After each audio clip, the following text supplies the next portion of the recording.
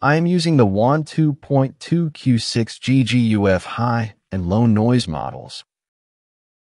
And this is the image used to generate a video. And here is the final output, 40-second video generated using WAN GGUF model, which should work on a 12 gigabyte VRAM. Use Q3 and Q4 models on 8 gigabyte VRAM cards if you are on a system with 16 gigabyte of memory. And this is where the video begins which matches the image uploaded. If you look carefully, you will notice the video drifting and the character, the mouse, starts changing. Something ate the bird flying in the background, but the point here is Around 22nd, the character starts drifting.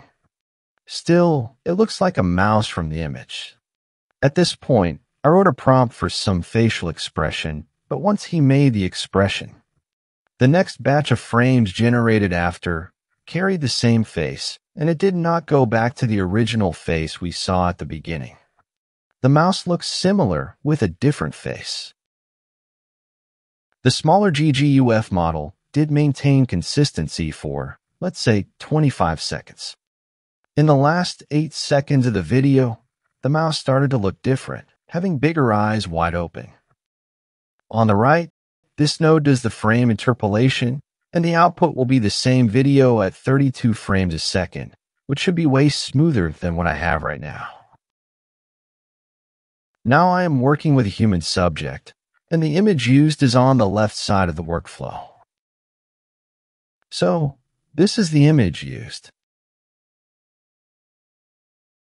The batches you see here are generating 5 second clips at a time. And I have used 5 of these batches to generate a video here. This is where the video begins, which is the image you saw just now. This video looks consistent for the first 20 seconds, and just after 21 or 22, it started shifting and the face started to change. At this point, the shift starts happening. The changes on her face are subtle and acceptable, but that's subjective. These are the batches 1, 2, 3, 4, and 5, which makes this a 25 second video. Now at the last 5 seconds of the video generation, the characters started changing. You should see on the right. It still looks somewhat similar, but this is the point when it starts drifting. I have updated the prompt for the next 5 seconds clip, and now I will activate this nodes and then run the workflow. The video generation process starts at this node here because all the previous nodes have a fixed seed ID. So the video has been generated by the remaining node groups. Do note that prompt used in all the node groups are slightly different, given by GPT. This is the combined clip of all the 5 second videos, which has a length of 40 seconds. On the right, I have the same video at 32 frames a second. Let me bring the image for a side-by-side -side comparison.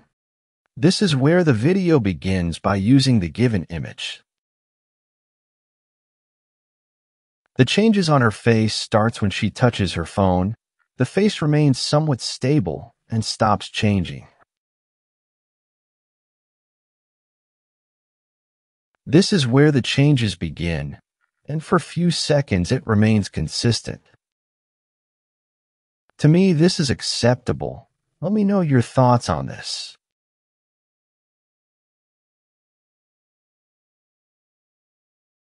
The last few seconds of the video looks bad. The face has been changed completely. So it works around 25 and 30 seconds. Let's look at the setup and the nodes used in this workflow. Comfy UI custom node, long look, shared by this user on GitHub.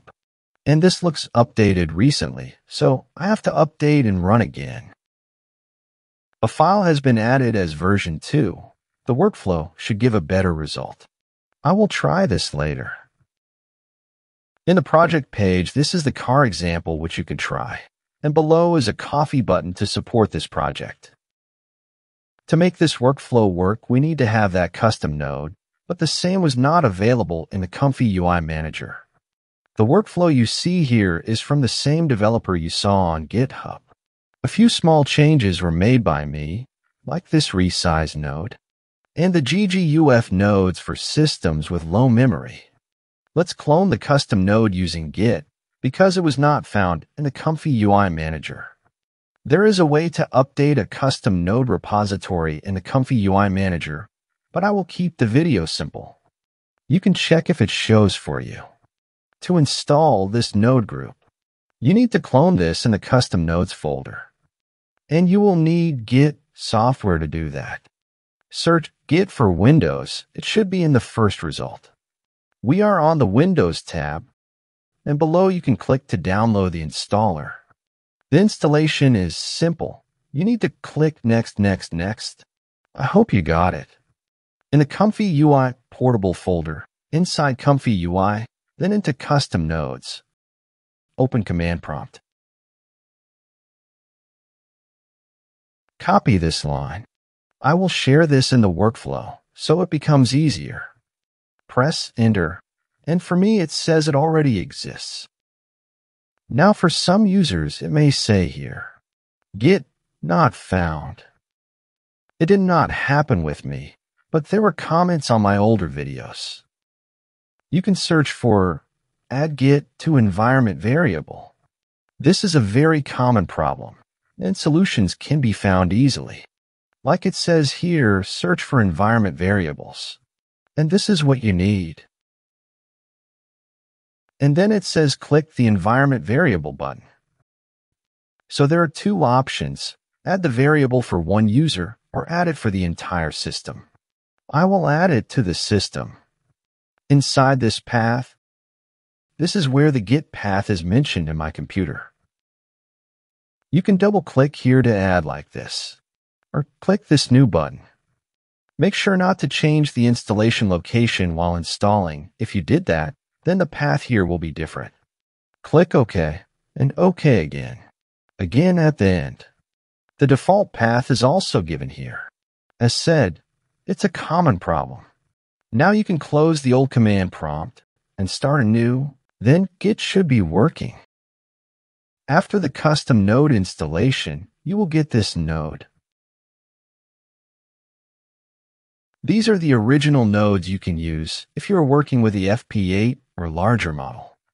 FP8 runs fine on a 16 gigabyte card with 32 gigabyte of memory. However, 64 gigabyte is recommended. Or else your system may become unresponsive for some time. And these are the GGUF nodes I am using to see how well it works with the smaller models. I have added the links to the models files, but this is copied from an older workflow. I will have it edited and add the links to the files I'm using right now. I forgot about using Sage Attention while running this workflow. So I tried this node, patch Sage Attention. I have connected the nodes and selected auto, so it selects the Sage Attention available. I uploaded an image of a beautiful sky and snow. My prompt here is to create a time-lapse kind of a video, and I ran the workflow. So it says here about using Sage Attention, but I do not see the patch Sage Attention. The time taken was around 400 seconds for a 612 pixel video on my 4060 Ti 16 gigabyte card. I don't think Sage Attention worked. The time taken should have been around 300 seconds. I tried with a second batch again just to confirm. And one iteration took 63 seconds, which is slow. I have to check if I can make Sage Attention work here. Also, the workflow has been updated by the developer maintaining the project. I was about to stop the video here, but then I updated the custom node from the Comfy UI Manager and checked the new workflow. I did a quick run this video was generated at 512 pixel in width, and the video output is good. I feel like this is better than the older workflow. However, I can be sure until I try some Pixar character and human subject. The drift went in the wrong direction. Glad this is not real.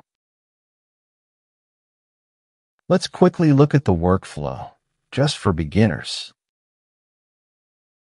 I will copy the file links here, and we'll share both the workflows in the description.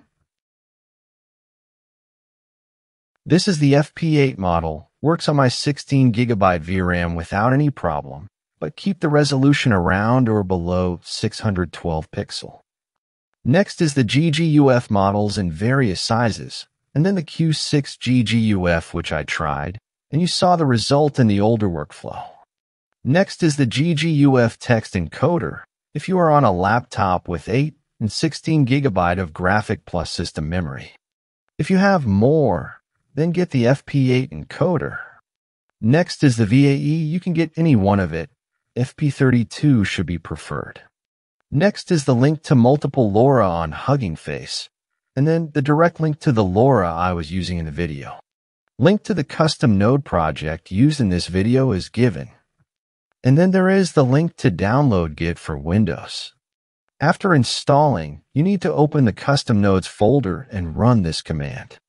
If Git is not found, then you have to add this path in your system variable.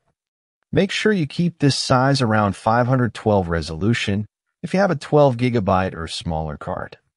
It is possible to generate 612 pixels video on smaller cards, but the time for generating that many pixels does not make sense to me.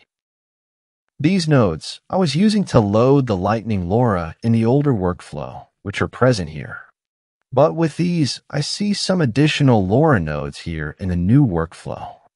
You can load style LoRa here for different effects in your videos. The LoRa will be loaded for both high and low noise models. Similarly, you will need to select the LoRa in these node groups as well. The generation time it took for 512 pixel 5 second video was around 200 seconds all the time on my 4060 Ti 16 gigabyte.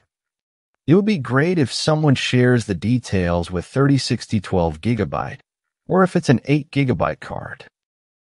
So that is it. It's the end of 2025. I wish you a joyful year end and a successful 2026, one that brings this red beauty home.